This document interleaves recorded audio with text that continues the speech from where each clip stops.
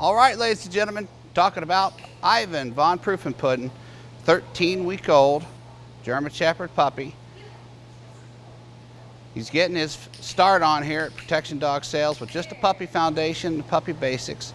We've got him out here on the open floor with the assistance of the leash, learning his positive reinforcement behaviors with the clicker and obviously food.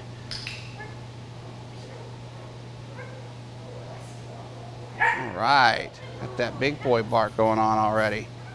So again, only 13 weeks of age, still lots and lots and lots and lots and lots of things to work on. But hey, we need a foundation before we can even consider going anywhere else. And that's what you're seeing right here. We're putting some time down on that foundation, getting familiar with the slippery tables here, those boxes. They make all sorts of noises. Each one of those things has a different texture. The table is very slippery. It teaches the puppy to keep its legs together as well as keep itself coordinated. Very nice.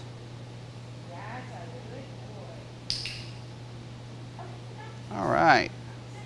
So again, like I said, only 13 weeks of age, but he is in a puppy raiser home, living in a home, get familiar with the comings and goings and etiquettes, manners required to be a very nice house dog for the future. Also, he's exposed to livestock right now.